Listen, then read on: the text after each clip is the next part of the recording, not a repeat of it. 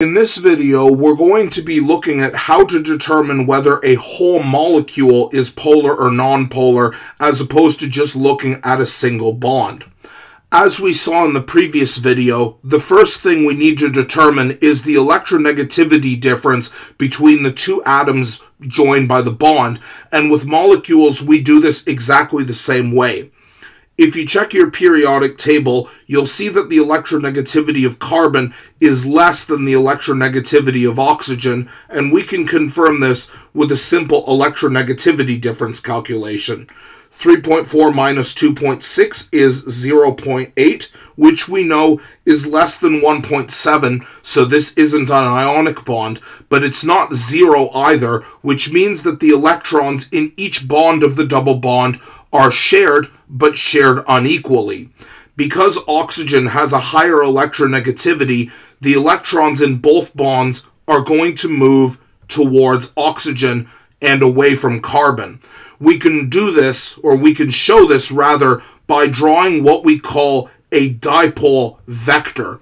For the people that aren't a fan of physics, don't worry, I am not either. Remember that the word vector simply means that we're looking at a direction. So these arrows here show the direction of electron movement. The way that we draw the vector as well also helps you find where the positive side is because if they show which way the electrons are moving, that tells us where the negative charge is going to be, and therefore the other end of the arrow is where the positive pole is going to be.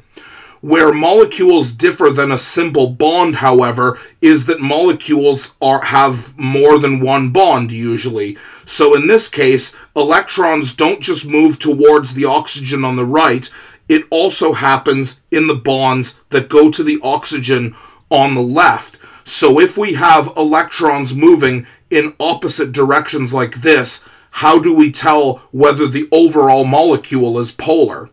Well, that's where we consider the two other factors when it comes to molecular polarity. The second factor we need to consider is something that we call lone pair asymmetry or lone pair symmetry. Asymmetry is the noun form of asymmetrical, which means not the same on either side. So when we take a look at carbon dioxide, we can draw a line of symmetry like this, separating the molecule into left and right halves. We can also draw a line of symmetry like this, separating the molecule into top and bottom. We know that electrons have a negative charge, so we can measure whether one side of the molecule or the other has more negative charge than the other by looking at the distribution of lone pairs. If we look on the right side of the molecule, we see there are 1, 2 lone pairs. Likewise, on the left side, 1, 2 lone pairs. Does either side have more electrons than the other? No. Therefore, does either side have more negative charge than the other due to lone pairs? Again, the answer is no. We can do the same by looking at the top half and the bottom half. On the top half, 1, 2, and on the bottom half, 1, 2. So neither the top nor the bottom has any difference in the number of lone pairs, and therefore no difference in terms of negative charge. Now, the last thing to consider is what we had talked about earlier the overall direction of electron movements when we look at the whole molecule. And that is what we call looking at the dipole vectors. So we can see that we have electrons moving from the carbon to the oxygen, but this is happening on both sides. Now, there are two ways that you can think of it here. Number one is mathematically. If we take the difference in electronegativity, 0.8, between oxygen and carbon, we can say that this represents the amount of movement that electrons have towards oxygen. Now, normally when we go right, left to right, rather, we designate this as a positive direction here. So on the right side of this molecule, we would say that the electrons are moving positive 0.8 in the positive direction towards the right. Well, if we look at the Oxygen on the other side, again, the electronegativity difference is the same, but we see the electrons are moving right to left, which is the opposite direction, which we can represent with a negative sign like this. Now, if we add the difference in electronegativity with the direction together, positive 0.8 minus 0.8 cancels out. In other words, what we are seeing is that electron movement is the same magnitude. We have the same force of electrons moving in both directions, but the directions are opposite. Now, because the directions are opposite, we can say that the electron movement to the right is perfectly canceled out by the electron movement to the left, and therefore we don't see electron movement moving in either direction. Therefore, what can we say about this molecule? If we look at this molecule, do we see that either side, the left, the right, the top, or the bottom, has more negative charge than the other? Well, this isn't true with lone pairs, and because the electron movement is canceled out as well, dipole vectors do not show us anything. So this combination, even though we have a difference in, in electronegativity that lets us think that these are polar covalent bonds, the lone pairs here are symmetrical and the dipole vectors cancel. So, because there is no side of this molecule that has more positive charge or more negative charge than the other, this is a nonpolar molecule, even though it has a polar covalent bond.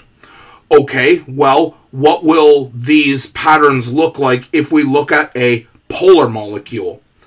Let's take a look at water here, for example.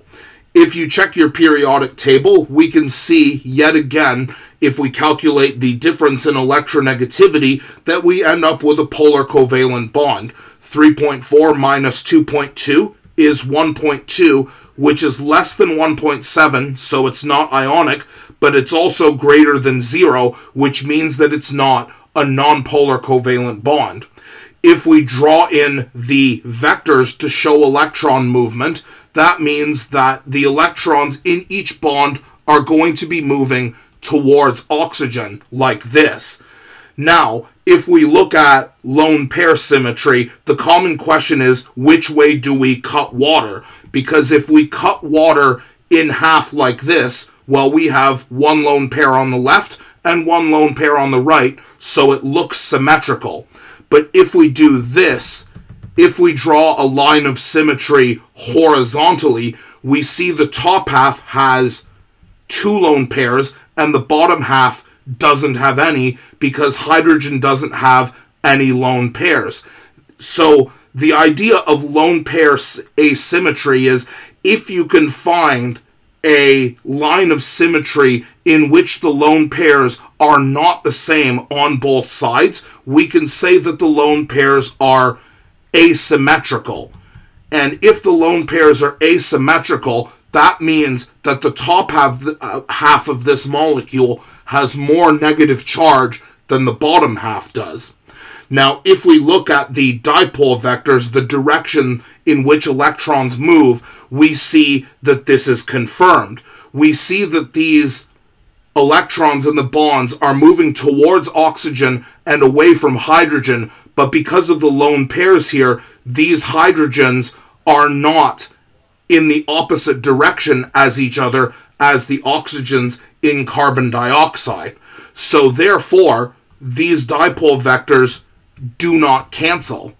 And because they do not cancel, we can see that the overall direction of the electron movement is from the bottom half of the molecule, from hydrogen, to the top half of the molecule, the oxygen.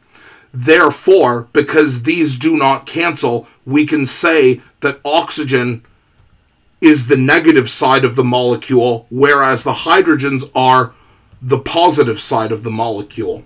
So, in a polar molecule, which water definitely is, there will most likely be an asymmetrical distribution of lone pairs as we see between the top and the bottom, and you will almost always, if not always, see that the direction of electron movement, the dipole vectors, do not cancel and show that the electrons move in a single direction. Before we move on to the next video, there are two additional practice problems here.